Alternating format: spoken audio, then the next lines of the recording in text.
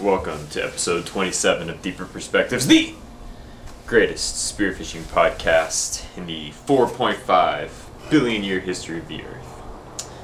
Already getting all geeky with the numbers, I guess, here, so I'm uh, a little excited. I've got a whole series of uh, podcasts about the physics of spearfishing, so I'm going to go ahead and get started. I want to show you basically this uh, medieval torture device right here is just made to measure uh, the the force that the bands are exerting. It's basically just a, a scale uh, on a winch.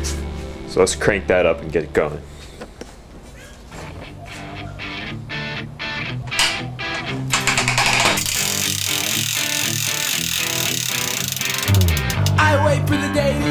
Okay, so I've cranked it back.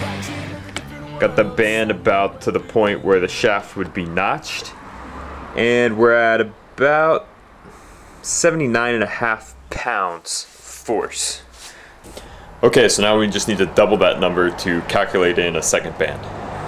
So we would have about 160 pounds of force in these bands, but there's a little thing called hysteresis, which says that unloading the bands will not give us the full force and so we're going to lose about a sixth of it and be down around 130 pounds. That leaves enough energy in the bands to propel this 930 second shaft at about 30 meters per second, which equates to 98 feet a second or 67 miles per hour.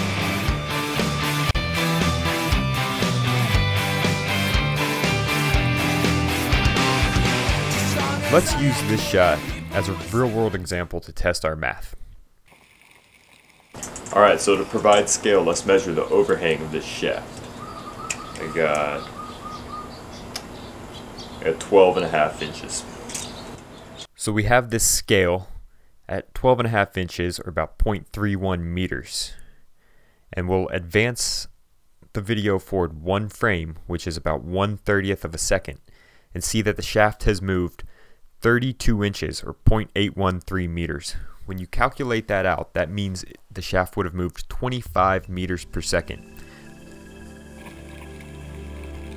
So I'm off about 15% from my calculation of 30 meters per second, but I'm pretty happy with the number anyway, because one, our methods here are not perfectly exact, and two, the shaft should begin decelerating as soon as it comes off the bands anyway.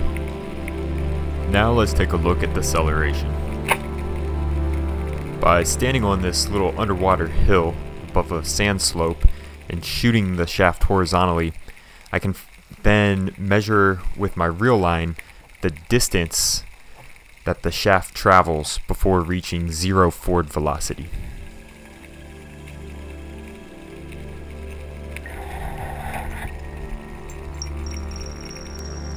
Okay, so I got the line stretched out and I'm gonna see how far this thing flew. Looks pretty far, huh?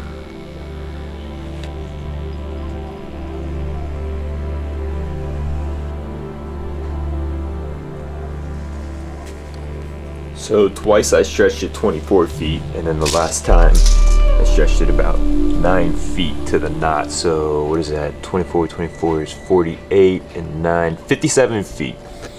Using these numbers, we find that our shaft experiences a force of about 3 g's, or deceleration of 26 meters per second squared. Let's use another real-world example to check our work. We can look at the video and see that it takes 4 frames for the shaft to hit the Ponanu. Using the deceleration of 26 meters per second square that we calculated, along with the 30 meters per second initial velocity, we can estimate that the shaft traveled 3.7 meters or 12 feet. This one is a little harder to estimate since the shot is not perpendicular to the camera. But if we mark this 5 foot shaft as starting here and moving one shaft length, two shaft lengths, plus a little bit, I'd say we're pretty close to the estimate of 12.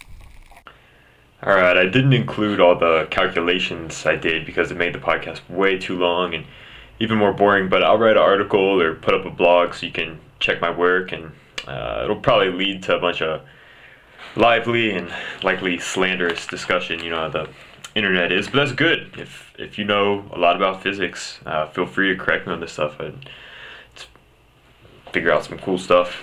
Um, yeah, none of this was too profound, but you can use these basic calculations, and in the future, uh, maybe we can better understand, figure out the range of the guns, and understand different shaft and band combinations, all sorts of stuff.